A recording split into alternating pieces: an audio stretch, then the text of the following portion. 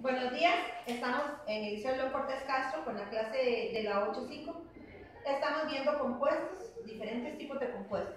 Entonces, ¿cuáles dudas tienen respecto a los cuatro tipos de compuestos que hemos visto con el de hoy que comenzamos a ver los hilos? ¿Alguna pregunta? No, ¿Toda está clara? No, pero expliquen, vamos a hacer A ver, pregunto, porque si no, No te haga mis preguntas, solo que queremos que lo explique. que les explique eh, cuál de todos. Todas. Las sales. Bueno, las sales, por ejemplo, tenemos este caso.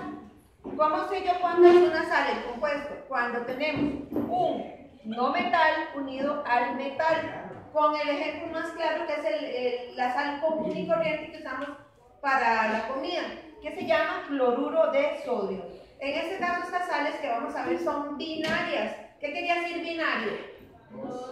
¿Dos qué? Dos compuestos. No, dos Elementos. Dos elementos. Que tiene dos elementos en su composición son binarios.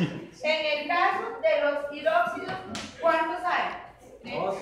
¿Cuántos elementos hay? Tres. Tres. Entonces es. ternario, ternario, ¿verdad? Bueno, entonces queda de la sal. Ahora, ¿cómo vamos a poner el nombre de la sal? Tenemos que usar también un método que se llama stock. Este método usa, ¿qué, qué cosa usa? Los números romanos. ¿Y cuándo usamos números romanos? Cuando tiene más de una oxidación. Ajá. Por ejemplo, el hierro, que el hierro es más 2 y más 3. Entonces, si está formando una sal con el cloro y hierro, con una oxidación más 2 se va a llamar cloruro de hierro 2. ¿Verdad? Si fuera con 3 sería cloruro de hierro 3. Respecto al CO2, ¿quién me puede decir qué tipo, aquí señ- señalamos este, qué tipo de compuesto es este? ¿Qué sería? ¿Cómo se llama ese compuesto? ¿Es un qué? Se llama Ácido.